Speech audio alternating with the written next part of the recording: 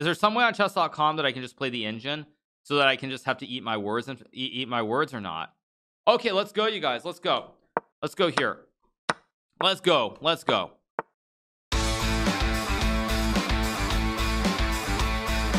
Let's move along. This is a game between Najer and Alireza Firouzja um okay we have a Petrov defense same system with d4 92 okay pretty standard so far uh Alireza won a nice game in the first round against Abasov with this whole d4 line so um clearly he prepped it for the tournament.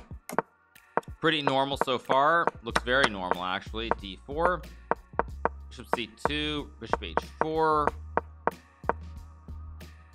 so it looks good for white. I mean you have the bishop pair. The bishop is bishop is kind of weird on b1 that being said black can always take and go b6 very solid position I would say. Like even a position like this it's hard to really take advantage of it for white.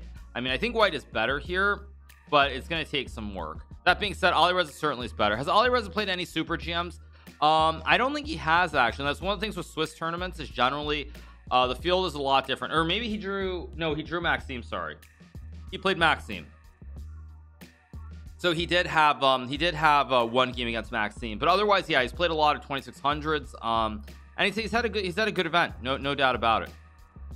Um he's probably had the easiest pairings objectively as well but again he started off really fast so in, in a way you kind of deserve uh, easier pairings. Alireza has four minutes to make more than 10 moves. Oh actually wait you're right 323 time is ticking here for Alireza and the one thing I would say about Alireza is that um is that Alireza his nerves were not great in the last game against Shirov it felt like. He was definitely winning there. Wasn't able to put the game away so we're gonna see if his nerves can um if his nerves hold up in this situation. That is the one thing. He has a winning position material is balanced very complicated. No clear-cut plan for why white is winning. This is one of these positions where the computer says yeah white's much better but but again for humans I'm sure Alireza thinks he's better but does he think he's plus two better or plus 1.5 better? Definitely not. So the game goes on. So cd4 I think takes 94 well I guess you can't take some 96 maybe and a fork. I mean still very messy. So there are two options. I mean pawn takes must be right but 94 is also quite appealing here. Does Magnus have the best nerves in the business? Um I would say in general Magnus does have the best um does have the best uh, tie breaks objectively or not tie breaks sorry best uh best nerves primarily because he responds the best under pressure. The number of times he's won critical games uh like you think about his world championship match playing Karyakin in game 10 down a game needing to win that game the way he was able to pull through and win that game. I mean there are countless other examples but I would say probably Magnus and maybe Sergey Karyakin are the two players with the best nerves um overall Thank you to Happy Danny for the gifted sub. Thank you. Thank you so much. Thank you for the 300 bits. Thank you, Scott Krebich for the 20 months as well. Thank you so much, you guys. Appreciate it. How much time for Arena Kings? Arena Kings will be in um in 90 minutes roughly. We will be playing. We'll be trying to take that down as well. Um, so we do have Arena Kings, which will be happening after after we cover this so that's what I'd say. How about you? Where do you place my, yourself? I think I mean I think I have decent nerves. I wouldn't say that I, I, have like great nerves or anything. I think I'm somewhere in the middle. Um I think there are certain players who definitely their nerves are worse for very specifically I think Levon Aronian. Um the number of times he's collapsed at the end of the candidates tournament certainly speaks to having having having bad nerves. Um that's really one that's really the only example I can think of where someone very clearly has um has kind of failed in critical situations on multiple multiple occasions. Um so so that's what I would say. Game for Alireza. Ali Reza is winning.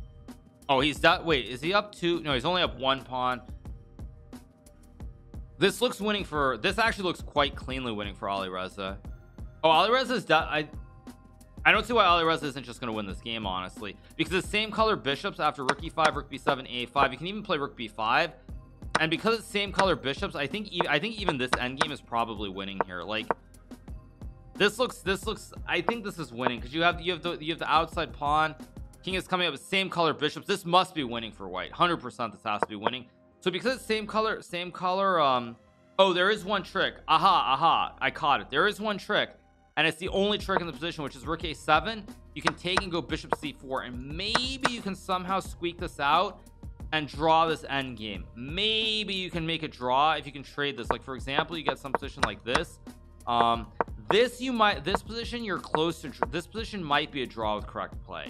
So if you can somehow if you can trade the bishops on c4 that is the last hope for um that is the last hope for uh for for Najer. So it's not actually so clear. It's not super easy. What happened? b5 was played. Okay so we yeah so so this trade happened. Like this is the thing is this actually winning after rook c5 c3 because black's gonna get rid of the pawn here. I need a logic key for the 510 bits. Um but yeah black's gonna get rid of this pawn. I'm gonna say this right now. I suspect that this is winning but I think it's gonna be extremely difficult uh extremely difficult for um extremely difficult for for Alireza to win this. I suspect with perfect play there's some technique that's winning but I, I don't think he's gonna win this if if uh what what, what move are they? They're on 37 it's tricky. I feel like Alireza needs a few more moves to like get the king in and again I I'm gonna I'm gonna say this. I don't think um I don't think Alireza is gonna win this unless he finds a technique before move 40 where where he's able to get his king in. Like he's gonna have to play h4 I mean computer says this is winning. I'm, I'm gonna I'm gonna I'm, I'm I think this is gonna be a draw. I think this is gonna be a draw. He should have played rook c6 no but rook c6 I just go rook b5 and it's the same end game um and I take my rook's behind the pawn I think this is a draw. I think this is gonna be a draw. Uh that's that's my prediction this will be a draw. A uh, computer says plus 1.8 because white's up a pawn but there are a lot of technical lines. Uh let me just see what what, what does computer say? Computer says king g7 okay. I just want to see well but now rook b6 and no this is stupid because now here rook b5 no no this is stupid. So okay so rook c5 I want to see I'm just gonna follow the computer lines. Computer says g4 which is a ridiculous move. I, I, I this is not winning by the way yeah rook a8 rook a3 and now it's coming down again. The bar is coming down. The computer doesn't know what it's talking about. This is a draw. So if, if rook c5 and c3 is played I think Najer is going to draw this game. It's not easy to draw but I think this is going to be a draw. That's that's my prediction. Um that this Lichess says plus 0.7 chess.com engine is ultra bad. Well on the flip side of that Bosnian Gambit that also means that I'm better than Stockfish as well. Because my intuition is that this is is that this is probably a draw with perfect play. There is a good saying which is um all rook and pawn end games are drawn. Would Magnus win this? I mean with time I don't think this is winning. I'm just gonna say this. I don't think this is winning. I just don't think it's winning unless there's some way that you can do something like this and get the king over but I don't know. I mean I don't think it's winning and rook c5 is played as expected to go c3 and ooh ooh I don't I don't think this is winning I don't I don't think this is winning for all I mean I don't I, Alireza will definitely push and try to win but my instinct is that this is a draw. That's my instinct. Cocky yep. Well I can be cocky about a rook and pawn endgame. Is there a way that I can play stockfish from this position? Is there some way on chess.com that I can just play the engine so that I can just have to eat my words and eat, eat my words or not? Okay let's go you guys. Let's go. Let's go here. Let's go. Let's go. Okay king there now. I can play rook h2 problem is annoying because it shows the um it, it shows uh actually I'll just leave it here. It shows the best move but I'm not I'm not looking at the best move. Um so I'm just gonna ignore I'm just gonna ignore it and just look at the right left side of the screen. Okay so rook a2 makes sense. King g7 makes sense. I think I'm gonna go rook a2 go king g7 go here. Okay okay now I can play h5 let's go h5 okay. Okay. Do I go f I think I'm gonna go f6 here. Let's take. Let's take. It's actually winning. I can play rook a2 I can also check here.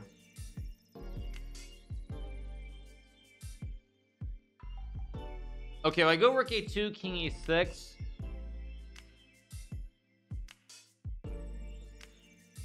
but if the rook's on f7 king runs over.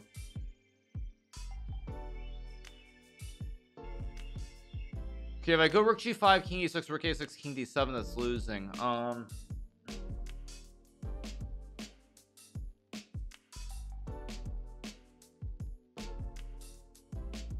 is tricky. Um it's zeros.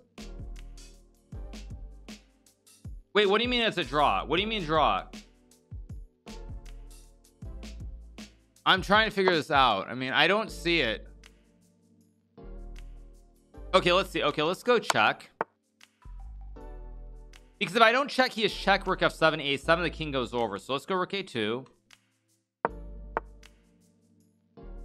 I go here he's got h4 then I go rook a4 let's go here. Go here. Go here. Bro you're not winning this end game no you're not winning this bro. You're not winning this. No. Game drawn. Come on you guys. See I told you computers don't know anything about chess. They're they're a joke. I told you guys computers don't know anything. I think this is a draw with perfect play. That's my guess but yeah you can yeah you can just click analysis so it's very easy to do. Um but like I'm saying this is a draw I think with correct play. I don't think Alireza is going to win this game. Like I told you it's a very tricky end game. The only chance to win um is maybe how can you like the only way to win here how can you win this? I'm just trying to think is if you could somehow get well let me give you an example. If you could somehow get this one I think this is winning. I think with a rook on b7 this is winning because what happens is you can actually bring the king king in. Like you can go f4 well but f4 there's still check. But I think this is winning because you can get the king all the way over and come up and black won't be able to get a pass pawn. I think this one is winning. This one I think is this one I think might be winning. And actually but actually you know you look at the evalu evaluation bar still says plus one. So even in this version with a pawn on a7 rook here still probably not winning. So um very tough very tough. Um so yeah so you guys are asking me about what happened in Alireza games. I'll, I'll explain the big question mark so as I was explaining during the game there were two big question marks here. Uh king king g6 king h6 draw I think maybe even king f6 draws. Um but also rook b2 is a draw too I believe. So after takes you make a queen and it's a draw. Because if white queens you go check.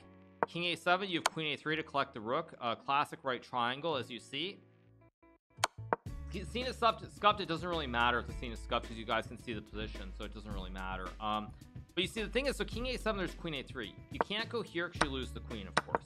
So the only square you can go to is b7 but now I can make a check on f3 to hit the king and again you don't have many squares. If you go to c7 c8 or b6 all three of the squares hang the queen. So you can't go to these three squares. So again you're left where you only have two squares. If you go to a7 I have queen a3 check. Again I collect the rook. And when you go here I go queen b8 and so you can never go to a7 and this is the point it's just a classic right triangle. And apparently Najer hasn't studied his math recently because this would have been this would have been a clean draw here. Um so this is one this is the first thing. The second thing that white can try is rook b7 but it's the same problem because now you go king h6 and now if white makes a queen you go check king a7 check. And it's the same thing it's again the right triangle and it's just a draw so it's just a it's just a draw here. And um, there's one other line which is white can play rook b6 here but after king to g5 again it's a draw because you make the queen and now I go check if king b7 I go I go queen to e7 check. And if king a6 I go queen a3 again right triangle maneuver you guys or the square box whatever you want to call it. Um and if you go here you get skewered ouch time. There's also this right triangle so there are all kinds of right triangles that exist in this position and um, somehow it, it, feels like he just didn't didn't see the uh, he just didn't see the right triangles basically. So this is this is just a draw. Plain and simple. It's, it's all just a draw. And so there's just no way to win. And if check you go king a7 again I go queen a3 check rook to a6 and I go queen to c5 king to b7 queen to b4 more right triangles. Um and if you come up I think I can just check here. Or wait no check is queen c3 king d5 queen f actually you know what this draw is tough. This draw actually is hard to see. I thought it was simpler than this. Actually this this is a draw but this is a tough draw. So you know what? You can't really say that he should have seen this one necessarily um because it is quite tricky to tricky to find the whole thing um but the draw that he should have found was very simply king g6 now my guess is what happened um is that essentially Najer he had a hallucination which is that he hallucinated check uh takes takes king g5 rook f rook f1 king h4 takes king h3 king h3 and i think he hallucinated that rook f6 he could play h5 and make a draw. I think he this is what i think he hallucinated was that basically he forgot he had h5 he only saw like king g4 rook h6 in his calculation you lose the position. So i think this is what what he overlooked but this is a draw just to be clear. Takes king here. Um and there's nothing white can do. White can try something like this but again white's king is too slow here you go king d5 king h1 king e4 h2 and now you have to move the rook away and when you go away I just go here and it's just a very easy draw. So my guess is that this is what Najer missed. That's all I can see. Um no it's not that Ali Alireza saw further. I think I think Najer in his deep complications he just he hallucinated that on rook f6 there was h5 he just hallucinated which is why I thought well I can't move the king. So I can't move the king then he then he might have spent all his time looking at this crazy line with rook b2 now mind you as I said this is a draw but I mean this is very very hard to spot. Uh, because again it's like check and just so you guys see the see the draw sorry it is check. Um rook a6 and you have to go check. King b7 I think it's check here and queen e5 I mean again very very dank. Wait is this a draw? Wait a second wait.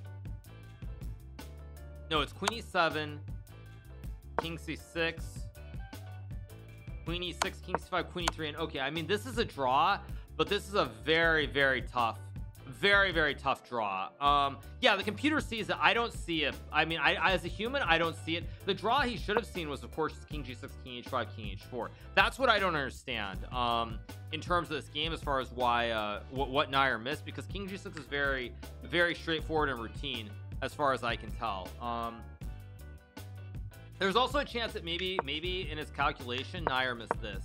Um he just miscalculated that he forgot the king was on a8 not b8 because for example let me just set it up. If the king is on b8 in this position I believe this is winning right?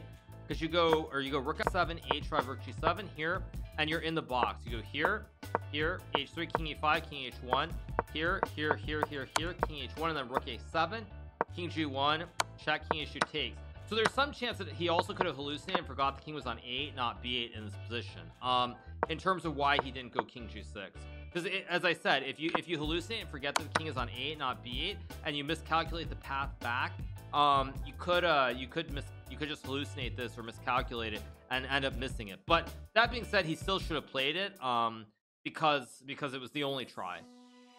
So this is what I I, mean I don't know I don't know why he didn't do this. Um that's the only thing this one is not I, I really don't feel like it's easy to miscalculate this honestly because it's just straightforward calculation. Um like you see you see the king is on 8 and your king gets to h5 so like as I'm thinking about this I'm not I'm trying not to look at the board I'm just looking at my head.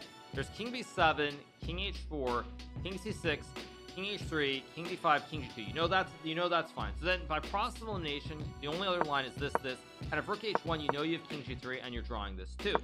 So the only line is rook f1 so you by process of elimination you get to this position immediately. And it's not really hard because b7 h5 c6 h4 d5 g3 rook a2 h3 e4 h2 it's pretty straightforward.